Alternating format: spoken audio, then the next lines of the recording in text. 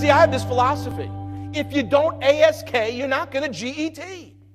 What is the worst thing that can happen? Someone says no. Well, how about in building your businesses?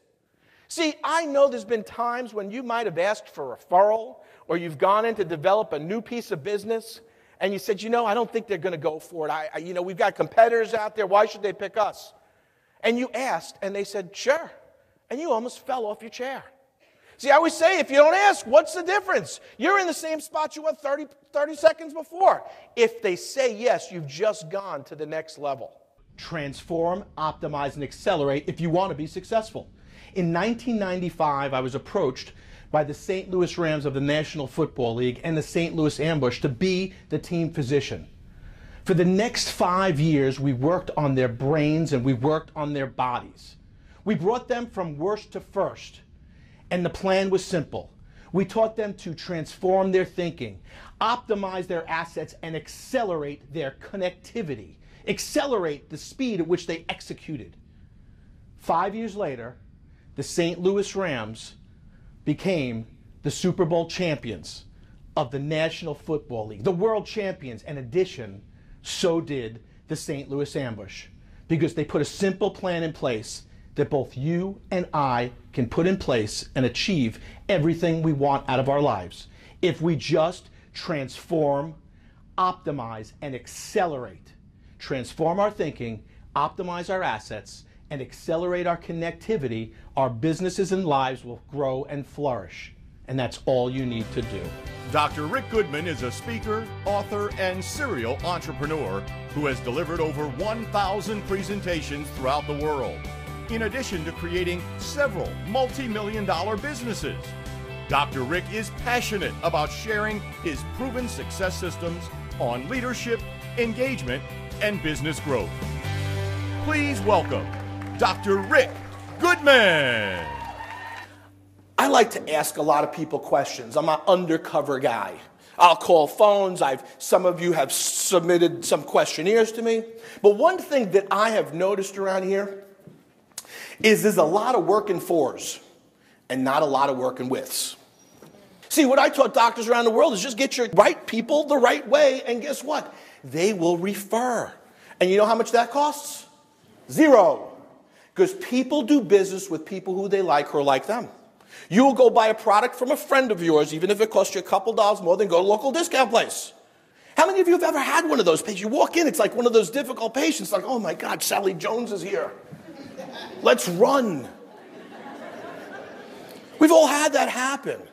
But in our power, with our attitude, the things that we can do to overcome issues with patients, with insurance, you know, this is one of the best times in the world, frankly.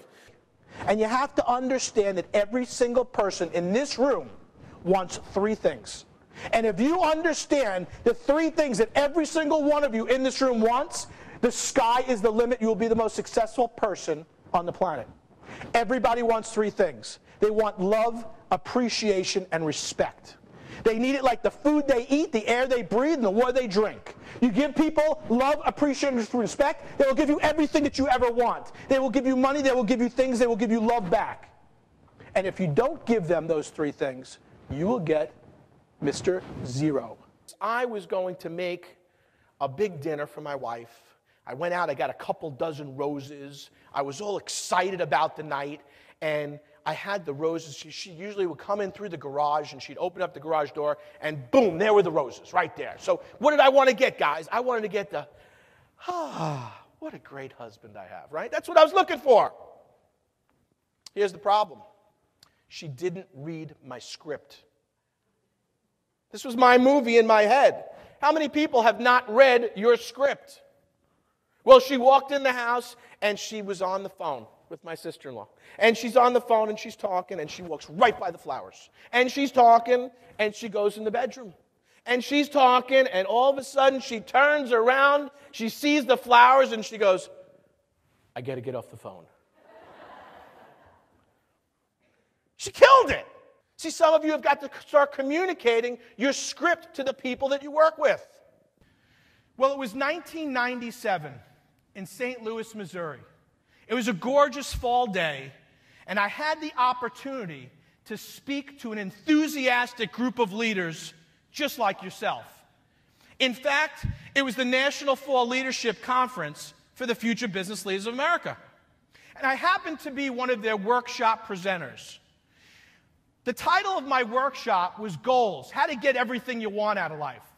See, as I've traveled around the country, and in fact traveled around the world, I've asked people the same question. And this is a great question. So, guys, if you want to have fun tonight or when you get home, this is a great question. I have asked people 20, 30, 40, 50, 60 years old, I say to them, What do you want to be when you grow up? Do you know the number one answer that I get? I don't know. Let me give you a piece of advice. I learned this first year in school. It was somewhere after gross anatomy and right before neurology. You ain't coming back. You may come back as a fish or a frog, but you're not coming back as you. So if you're not doing what you love to do, you better do something different.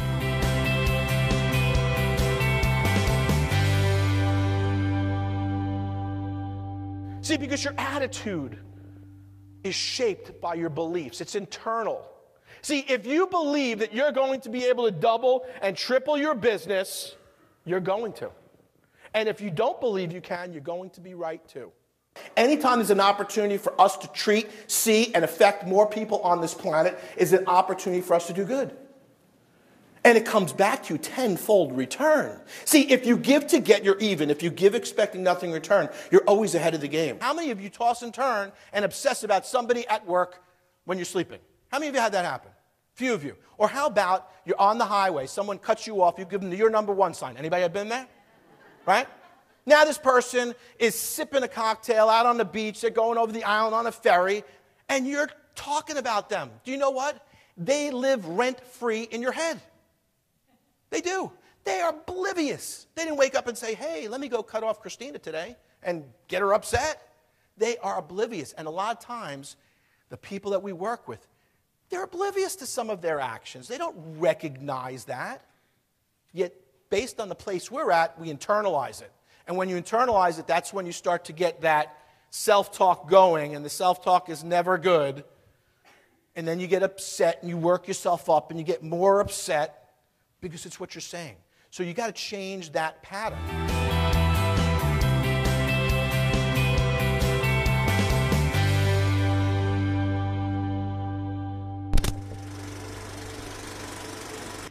Of you have ever said it's going to be one of those days? Raise your hands. Anybody ever say that? Okay. And mom and grandma, how many have the mom and grandmas that say bad things happen in threes? Anybody have those mom and grandmas? Me too. And you wake up, and what happens? All of a sudden, one, two, three, four, five, six, seven, all these bad things start happening to you. And you know what you'd say at the end of the day? See? I was right. I knew it was going to be one of those days, and I was right. Here's my question What did you ever get for being right? Have you ever worked with someone that you couldn't warm up to if you were cremated with them? Anybody have this happen? You know, this is the person that might win the, the lottery and complain about paying taxes. You all know this person. You know, someone licked all the red off their candy cane. You know, they're unhappy. See, some of you wake up and you say, I hate Mondays. I hate Mondays. I wake up every morning, I say the same exact thing.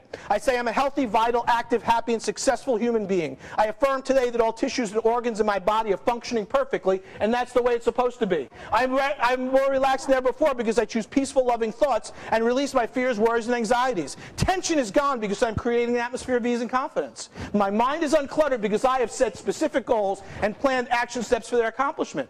I feel better now. Nature uses the food that I eat, the air that I breathe, the water that I drink, and the rest that I get to rebuild, repair, and revitalize me for the future. Radiant energy flows through me. I also affirm today that money is plentiful and an abundant supply, and this money flows freely and constantly into my life as I render loving service to all mankind. What do you say?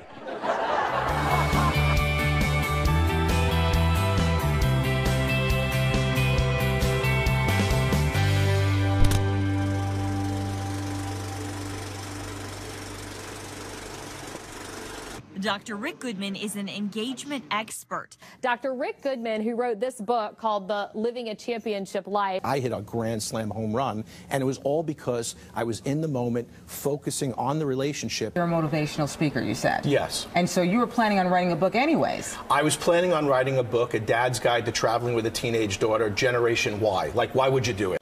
I made a decision a few months ago that I was going to take my daughter on a trip to Europe. No phones, no computers. Pretty scary thought. 16 year old kid. Mini me. Big time mini me. If I tell you my daughter wouldn't share anything with me before this trip, I couldn't, it was like talk to the hand. Anybody have that happen? like, dad, you can't relate. One day she was complaining, we're in Paris, and she's complaining about being in Paris, and you know, we're walking. Mean, who complains about being in Paris? I'm tired, I want to go back to the hotel, call a cab. And all of a sudden I hear this play-by-play in French. And I'm listening to this play-by-play in French. I go, let's go walk to that. I don't want to go there. No, I want a cab. No cabs are taking us, Jamer. Let's just go walk toward the music. We walk, we walk. We walk right into the last leg of the Tour de France where the Englishman won for the first time in 100 years. I looked at her, I said, This is unbelievable. Do you know what you're seeing right now? This is unbelievable. We walked right into this. We didn't plan this. I don't care. You know, I was thinking about just going to Epcot for a day and we could have knocked out all those different countries. You know, but the reality of it was that if we spend that time together, it's there. And you don't have to spend a lot of money. Uh, 1.30 in the morning, we're walking through Florence, Italy, and she grabs my hand. She said, Dad, we make a great team. It was the best thing I ever did. She came back. I said, let's see what we both wrote. She wrote magnificently. And the book became her book. It became Jamie's Journey Travels with My Dad. So who's got, who's got a 16 year old here? You do? Here you go. You will make a comeback, Jennifer. What she does is she gives advice to other kids. Hey, you know when your dad's annoying? Hang in there. You may learn something. And then there's my revelations. Make your plans and be flexible and break them. Because the night before we left for Europe, she called me up and she said, uh, Dad, uh, no offense. Have you ever gotten a no offense line? Uh, no offense, uh, but I want to hang out with my friends. I had to rebook a hotel, change a flight, because I, I, thought I was going to be there, help her get through this. No. We're so close now. She just called me a few minutes ago. She calls me every day, looks after me. We have a conversation now. And that's a lot different than we had before. I wish you great luck. I know your Vision 2015 is absolutely going to work because you've got the leaders to make it happen. You've got to commit and make it happen too. Thanks a lot. Thank you.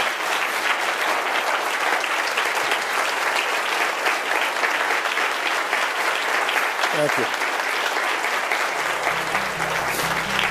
Dr. Rick is fantastic. He's on top of his game and he will deliver a fantastic message to you if you're looking for, for one, and I would definitely suggest considering him. He did an excellent job. He engaged with the crowd. The crowd loved him. I recommend you take a piece of Dr. Rick Goodman. It was a fantastic evening. We got the crowd involved, pointed out some uh, wonderful stories from some of our employees. We'll be able to take away a lot of what he said and use it both in my personal life and in my business very educational, very motivational, and I would strongly recommend that you hire him for your company or your function or event.